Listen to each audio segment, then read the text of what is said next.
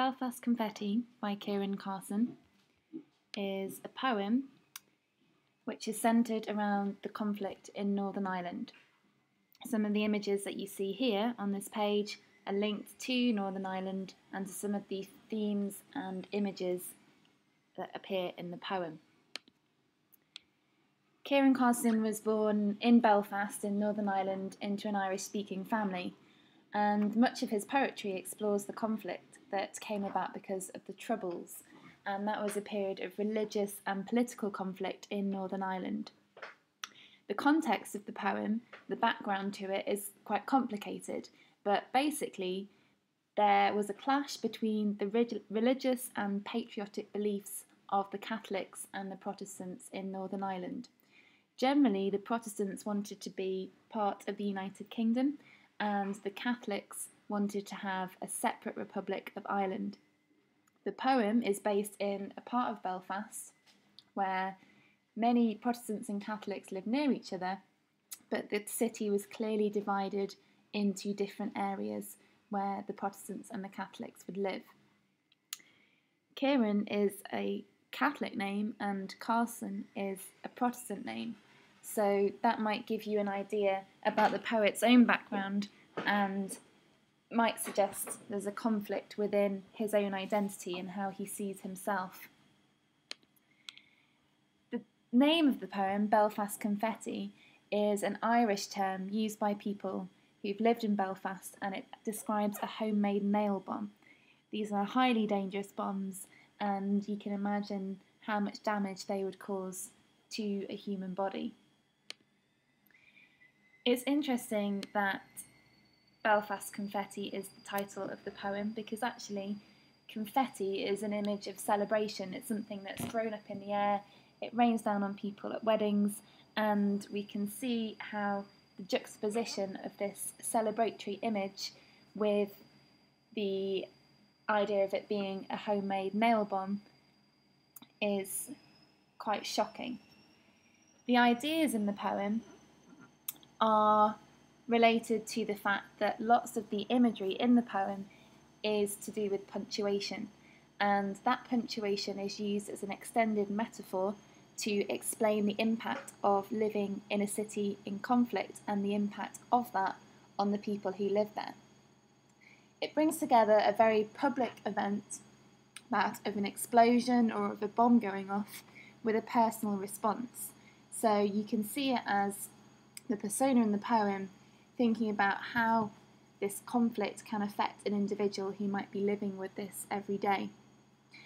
There isn't any focus on casualties, so perhaps one idea behind the poem is that life is difficult and life is frightening, but it's not impossible. Suddenly, as the riot squad moved in, we've got suddenly that adverb at the beginning which gives us a sense of shock. It's an abrupt opening a little bit like the explosion. It was raining exclamation marks. That metaphor suggests maybe something going right up in the air, and you've got the idea of exclamation marks that you would use in writing when you want to indicate maybe a shock or a loud noise or somebody screaming. So there's that kind of idea behind using that metaphor. All the way through, there is enjambment in this poem, which suggests maybe the idea of disjointed life in a city in conflict. Things are happening, there's confusion, and life is disjointed, life doesn't run along smoothly. The nuts, the bolts, the nails, the car keys are the things that the homemade bomb is made from. These are the things that would cause injury to people. A fount of broken type we can read that perhaps as language communication is disrupted, like the peace in this city, or perhaps it refers maybe to news reports, constant news reports about what's going on. And the explosion itself, an asterisk on the map. And if you think about what an asterisk looks like, you could quite easily see that as being an image that would be a metaphor for an explosion. Again, we have punctuation with the hyphenated line. The burst of rapid fire is followed by an ellipsis, and they are actually illustrating the gunfire. If you think about the lines in the poem, we might also consider those to look a bit like the firings from a gun. The idea that the speaker was trying to complete a sentence in my head, but it kept stuttering, perhaps helped you to see the tone of the poem, the poet's voice coming through, perhaps their fear, their frustration, not being able to communicate about what's going on. All the alleyways and side streets are blocked with stops and colon. There's a feeling of entrapment, being trapped in a place, maybe claustrophobic, or it could be, somebody said in the lesson, a metaphor perhaps for the army or for the police who are blocking off the streets. The increasingly short sentences within the long lines, I've said perhaps maybe a physical representation on the page of the gunfire that's happening, but perhaps also adds to the feeling and the sense of being trapped. The punctuation metaphor is used and helps to organise the writing as if it's suggesting maybe that the authority or the authority of maybe the police or the army is attempting to control the city. It could also indicate that life in Northern Ireland is interrupted, or perhaps it represents the speaker's thoughts becoming disjointed or confused. In the second stanza, the poet says, I know this labyrinth so well. And that could be seen as ironic, because although he knows the place well, he still feels lost. Balaclava, Raglan, Inkerman, Odessa Street, those are street names, but they're also names of wars which were fought in British colonies, so that's referring to the British involvement in Northern Ireland.